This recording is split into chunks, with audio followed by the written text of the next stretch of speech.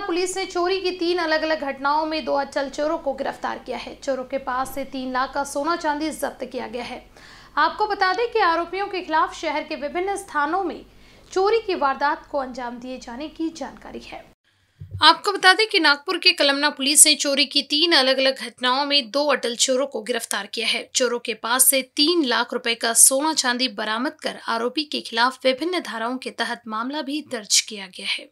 August आणि September महिन्यात Kalamna police स्टेशनच्या हद्दीत घरपोळीचे गुन्हे चार दाखल झालेले होते.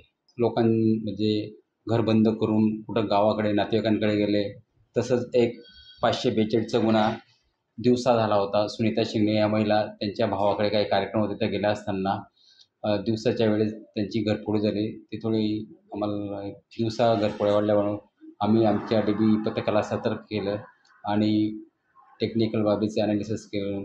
आरोपीचा मागावर होतो आम्ही.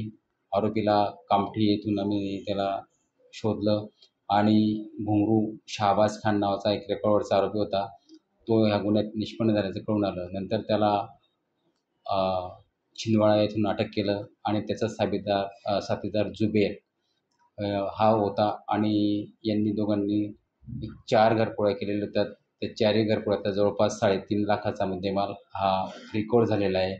आरोपी त्यांनी मुद्देमाल तसाच ठेवलेला होता. ते म्हणजे योग्य वेळेस बुवा आपण एखाद्या सोनाराकडे जाऊ आणि विकू असं त्या प्लॅनिंगमध्ये होते. परंतु त्यांचं प्लॅनिंग सक्सेस होण्याच्या आधीच आम्ही तो माल रिकवर केला.